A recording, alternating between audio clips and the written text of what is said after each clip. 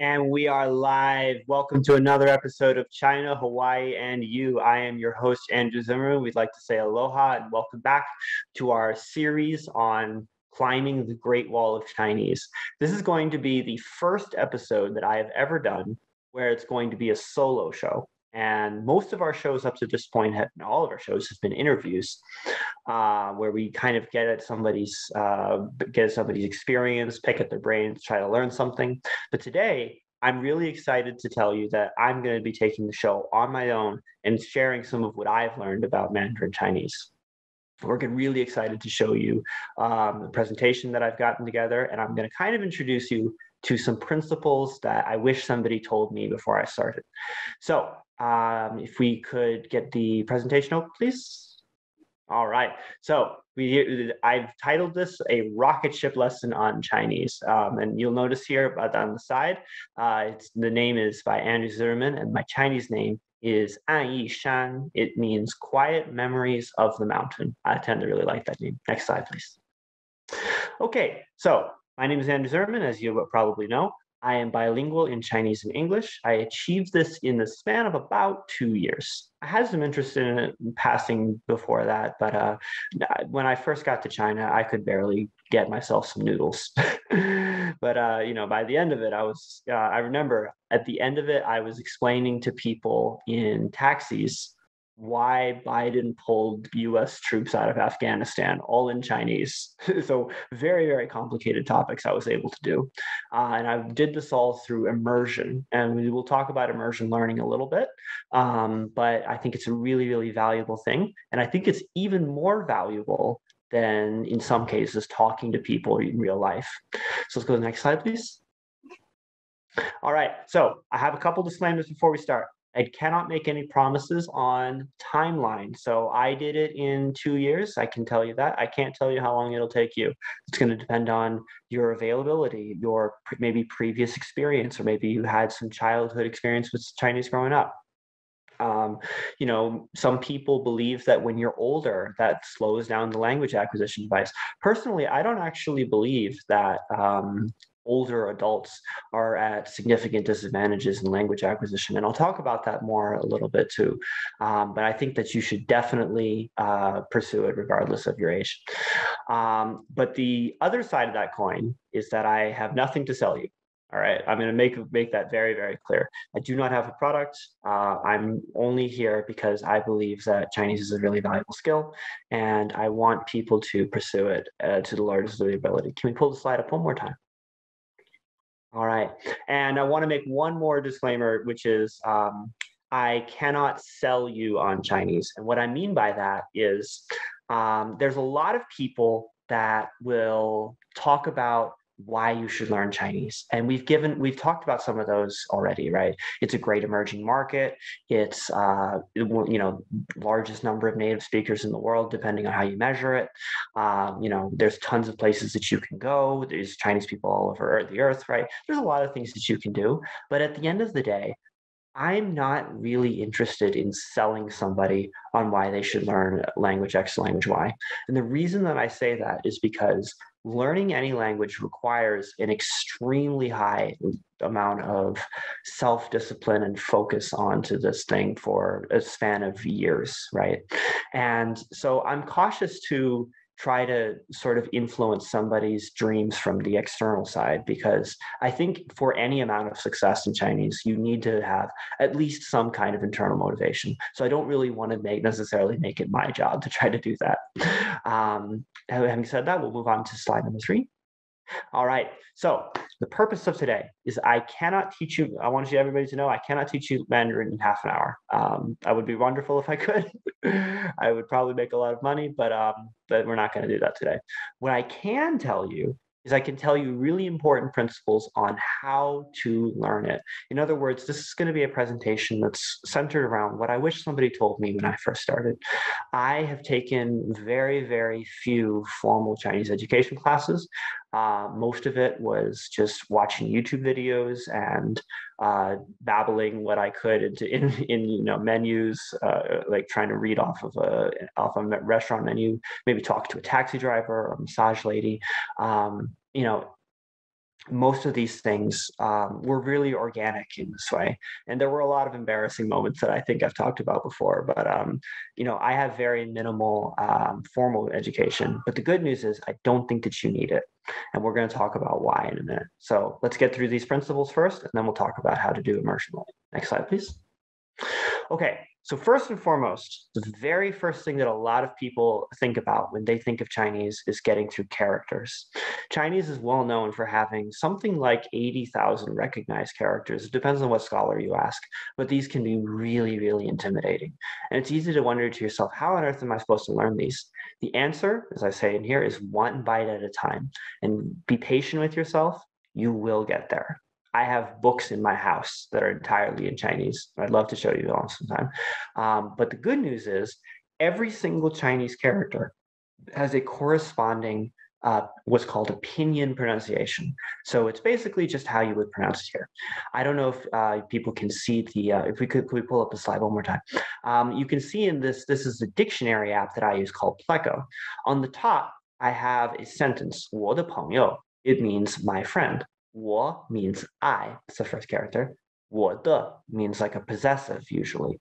Uh, and then 朋友 means your friend. You can see all this on the right side. This is my favorite dictionary app, as I said, but you can see that all of the characters have very, very easy, easily pronounceable um, pinyin equivalents.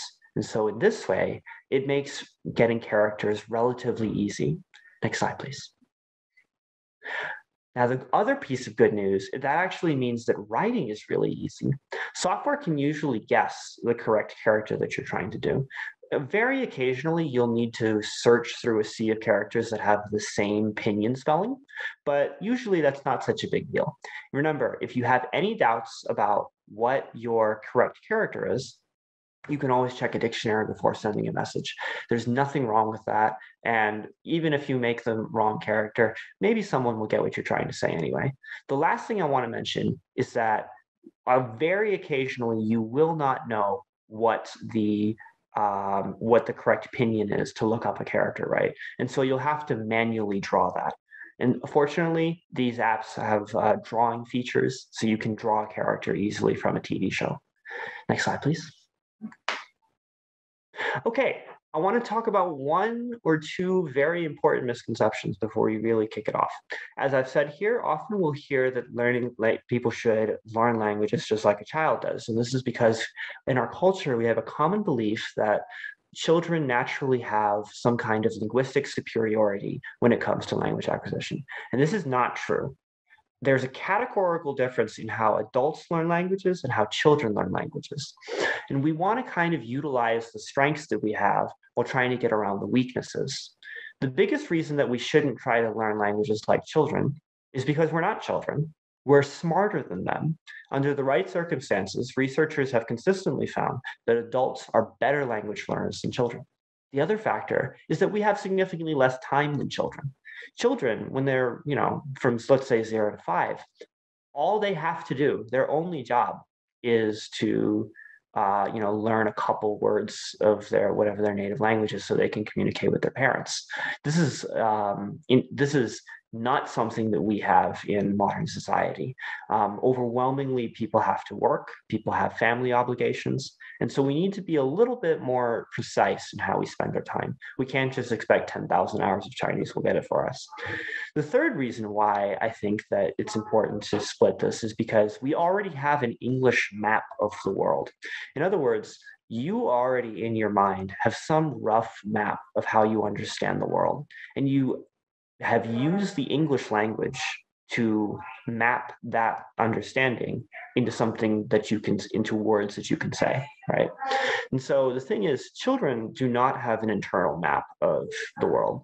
Um, you know children probably don't even understand the concept of like gravity right? There's there's some some very simple things that adults can articulate why things happen. Children have no idea right? They're still articulating they're still figuring out um, what kind of situations will make them will make them learn or make them develop or even get some basic physiological needs met.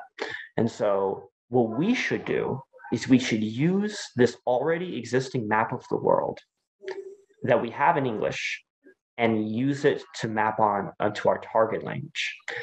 The last thing that reason that I want to kind of separate how children and adults learn in um, Chinese is because children, when they're learning Chinese, have the advantage of they're already fluent in Mandarin, and therefore when it comes to writing, you know, everybody always wonders, oh, how can you learn to write three, four, five thousand characters? The thing is, it's actually not that difficult for them because mentally they already have associations of what every character should be. And so I would submit to you, if you took all of the English language and it was spoken, it was still the same, but you began replacing words such that they were not necessarily phonetic, but they were replaced by a symbol.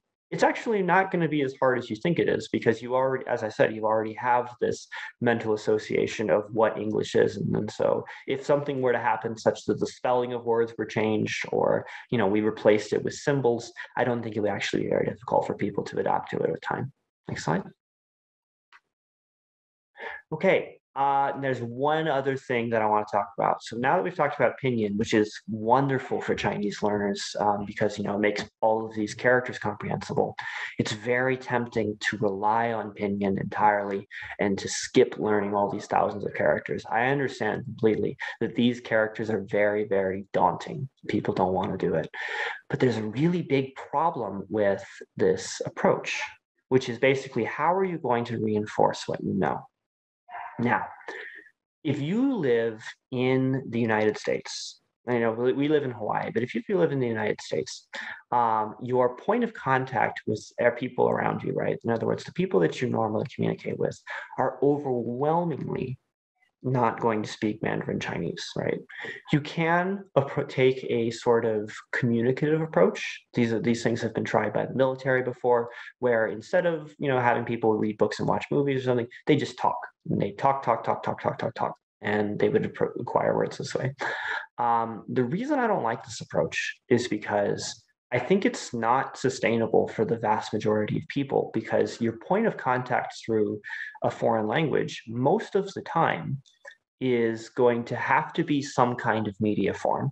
And the reason it's going to have to be a media form is because a media form is something that is consistent. You know, all you have to do is you have to load up Netflix, so you have to open your foreign language book and there it is there's your foreign language stuff right whereas if you want to talk to somebody that speaks japanese or chinese right that's probably not in your house so there's a good chance that you would need to go to maybe a restaurant maybe you need to go to some kind of cultural center maybe you would even need to hire a tutor right but if you want to have uh, content if you want to have you know just some kind of experience with your target language um, be it movies, books, magazines, what have you.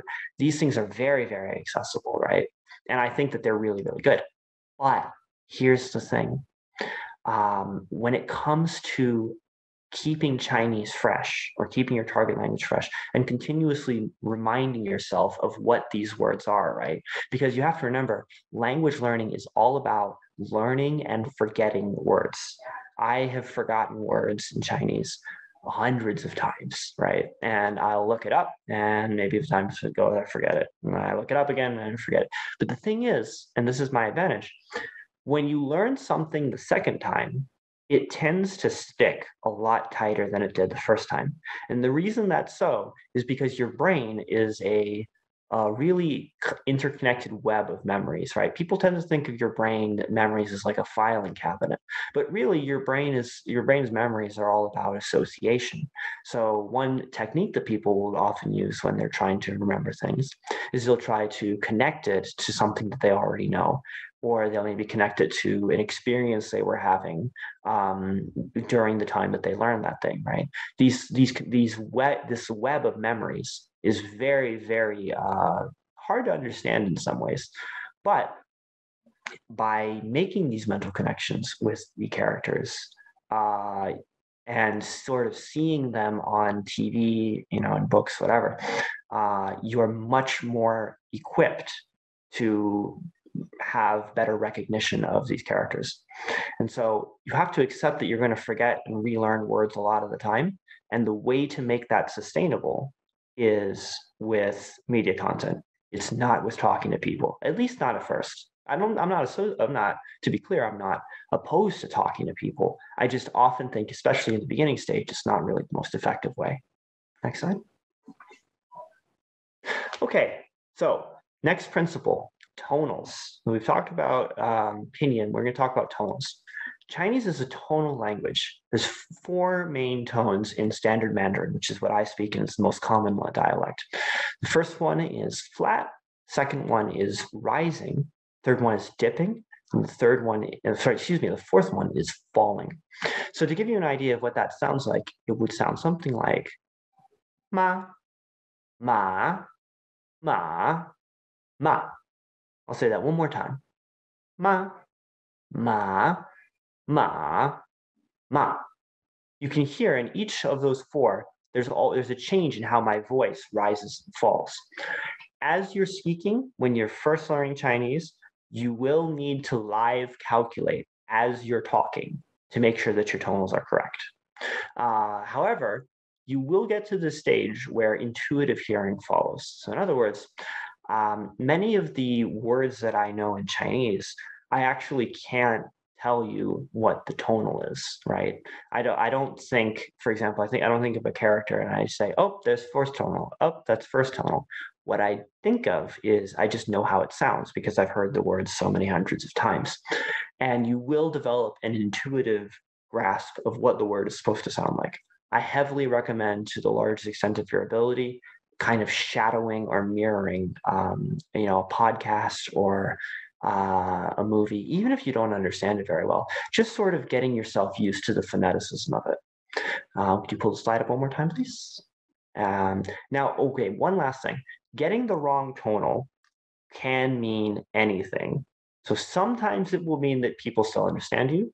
Sometimes you'll be completely incomprehensible. And sometimes there's a couple cases where you can even insult someone by accident.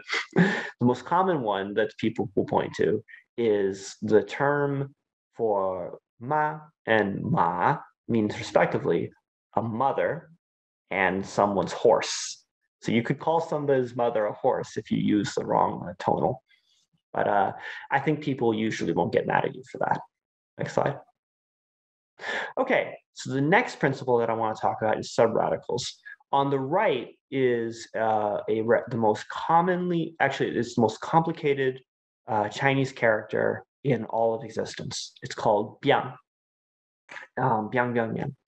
This is uh, 54 strokes, if I'm not mistaken and uh, you know the overwhelming majority of chinese people um, cannot write this character even people that have lived in china their entire lives i actually can write this character and the reason that i can write this character is because i didn't want to learn writing at first so what i did was i learned the hardest character and then whenever people would ask me can i write in chinese I would draw this character and they would say, Oh, wow, you speak, you must write fluently Chinese. When the truth is, I probably couldn't even write my own name.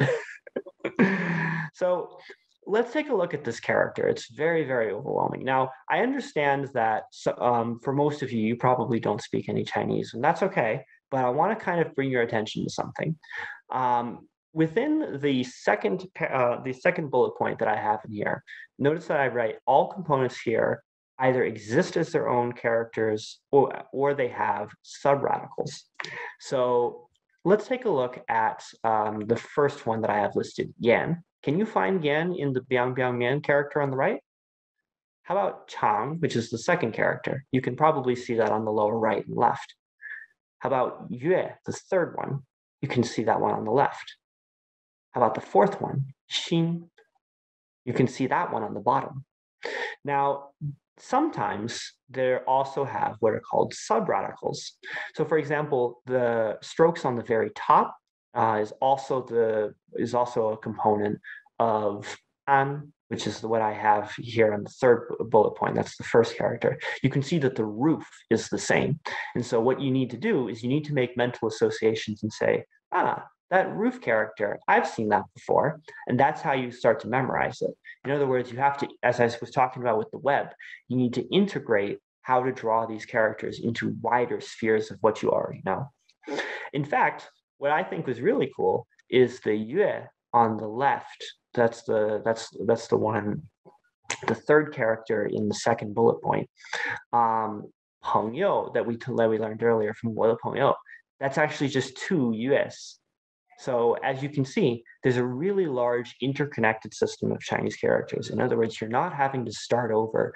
Uh, you're not having to individually memorize two, three, four thousand, five thousand, ten thousand characters. You can often very much rely on an already existing knowledge base and ex- from maybe even just something as simple as 500 characters. And you can expand that out to uh, 1,000, 2,000, often just using re- kind of recycling and reshuffling characters that you already know. Next slide. Okay, now here's my favorite example. Um, there is three characters here that you you can take a look at. Um, the three characters on the top are all pronounced Zheng.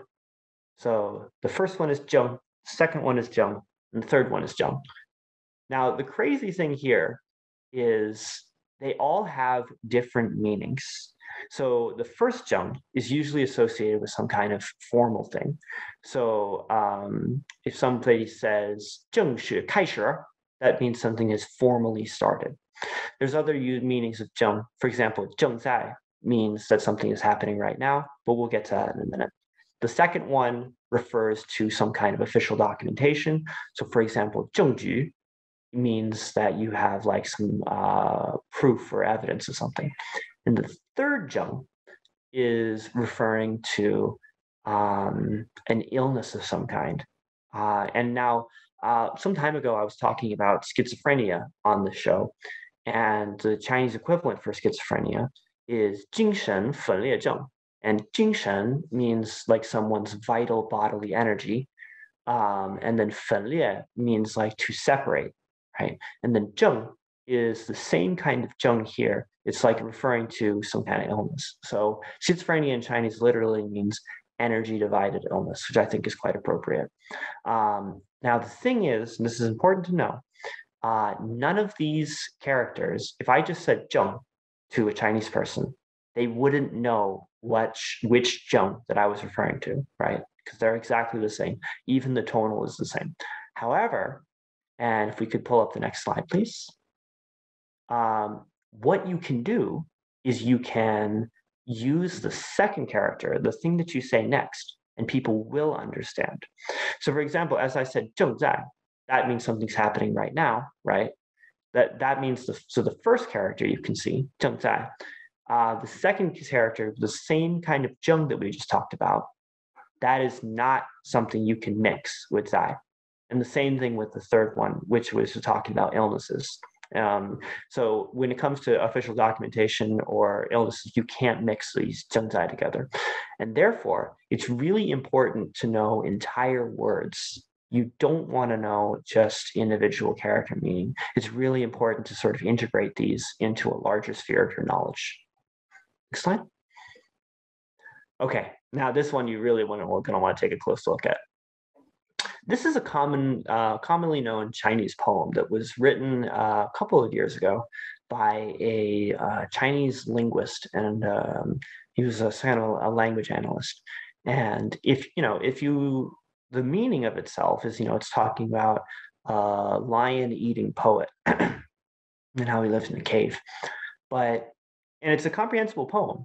But if you had somebody read the characters out loud, it would just sound like, as I say in the bottom, sure, sure, sure, sure, sure, sure, sure, sure, sure, sure. sure. It would just sound like sure, sure, sure, sure, sure, sure. sure.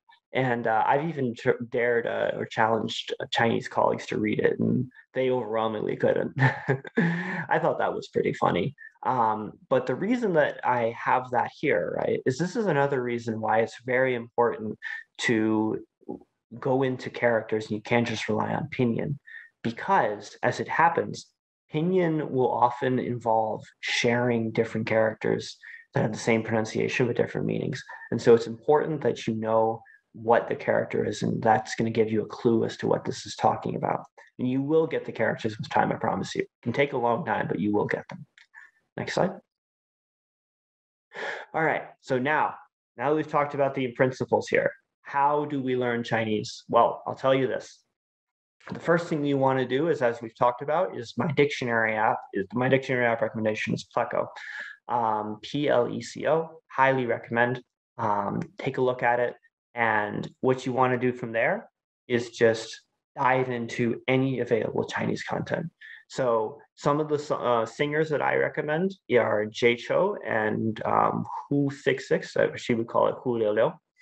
Um, those are some of my favorite singers. The thing I like about songs is people tend to listen to the songs many times over, and that kind of gives you this sense of, oh, this word, I've heard this word before, right? And it gives you kind of a familiarity with it. If you want something a little bit more, uh, how would I say it? If you want something maybe a little bit more down to earth in, in terms of how people talk, Netflix has tons of TV shows. My favorite one is The King's Avatar. Um, take a look even if you can't understand it, um, you, would be surprised how much you can follow in a given TV show just by just by watching people's faces, watching what happens on the screen. Um, screenwriters know that you're supposed to show, not necessarily tell. Uh, most native Chinese content, in fact, almost all of it, has Chinese subtitles. And that's in large part because they know that it's uh, easy to sort of let a character here and there slip uh, and it's maybe not clear which character they're talking about. So all of it comes with uh, subtitles hard coded. Um, what I would definitely say though is you want to be cautious of TV dramas involving ancient China. Um, these things are really cool, no question. It's kind of like getting an Eastern Lord of the Rings, right? But you want to be cautious about that because it, many times in ancient Chinese dramas, they talk completely unrecognizable to uh, how modern people would talk. And so you don't necessarily want to spend time uh, learning how people don't talk anymore, right? You want to sort of learn how to talk to people today. And so I would definitely recommend, to the largest extent of your ability, uh, watching the, as realistic TV shows as you can. So th- things like family shows, um, maybe uh, Disney cartoons if you can find them. Um, you know, try to stick away from like you know heavy action movies or you know, like I said, um, dramas that take place thousands of years ago. All right, next one. And with that, I want to wish everybody um, 恭喜发财, which is what you can see on the right. Um, which it, it means wishing people happiness and prosperity in the new year. I want to wish you as well this year happiness, prosperity, and I will also add two things in our modern day I hope that you are able to learn Chinese successfully, at least to some extent, or any language really, but this has been Chinese focused. And I also wish you safety in this time of COVID 19.